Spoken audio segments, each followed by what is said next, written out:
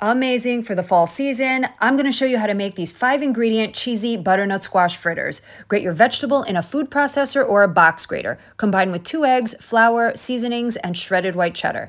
Cook in a skillet until golden and crispy. Now love your life.